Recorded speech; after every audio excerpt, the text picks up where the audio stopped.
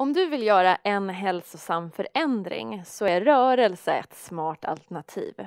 Och här får du ett smakprov, ett exempel på vad du skulle kunna göra ungefär en gång i timmen. Någonting som gör skillnad. Det du behöver är ett skrivbord och en stol. Du kan ta och sätta dig på stolen och skjuta tillbaka den en aning så att du sitter ganska långt fram på stolen. Och sen tar du och sträcker dig ut över bordet.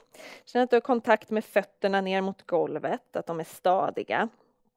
Så tar du och sträcker ut i armarna så mycket som du kan och drar svanskotan bakåt så att du får den här sköna utsträckningen längs med ryggen. Ta ett djupt andetag.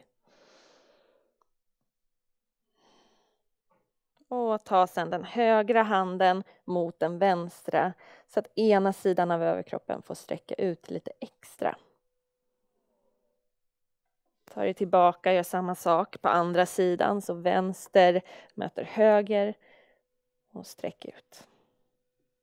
Ta dig tillbaka mot mitten, kom upp till sittandes och placera händerna en liten bit bakom dig på stolen och lyft upp längs med ryggraden, bredda bröstet och lyft blicken.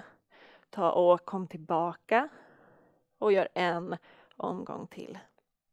Vill du ta det vidare här nu så kan du sträcka fram i benen, placera fötterna ihop för lite extra stabilitet och ta och pressa stolen ifrån dig genom händerna och lyft höfterna och lyft bröstet. Kom tillbaka till stolen.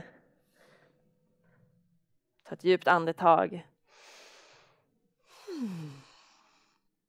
Ett hälsosamt val.